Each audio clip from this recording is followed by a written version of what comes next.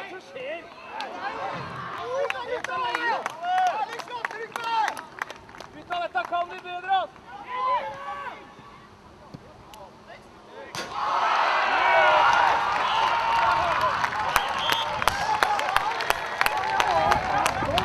er vi til ti minutter. Nesodden opp i 1-0. Stille nummer 23, Alexander Myklebust.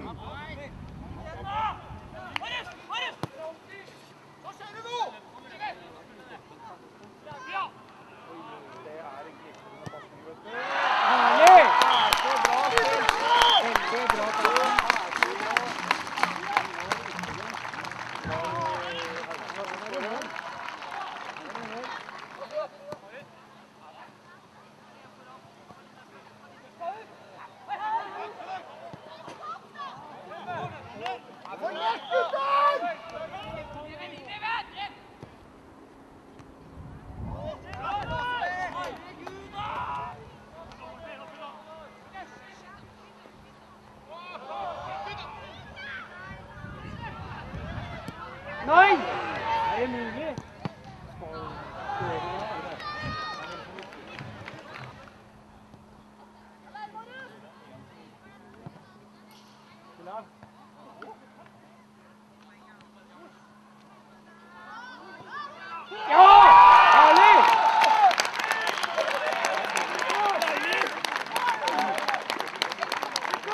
Da gikk opp i 3-0. Spiller nummer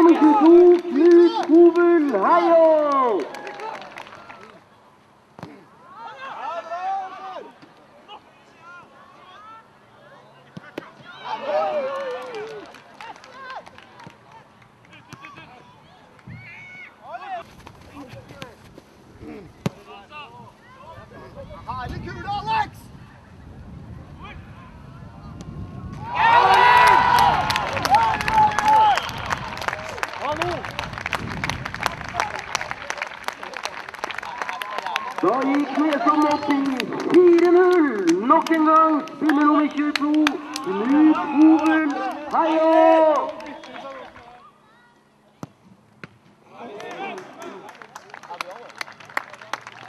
Ja, forsøk! Hæ?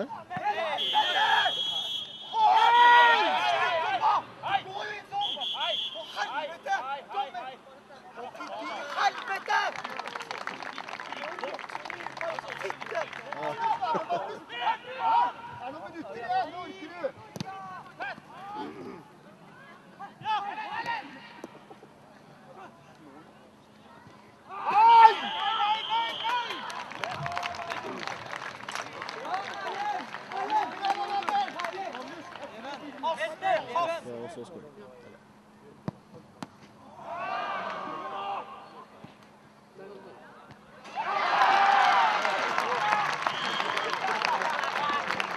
Da var det duket for dagens første hat trick. Nesodden opp i 5-0. Nok en gang 22 Knut Hovul Heiå.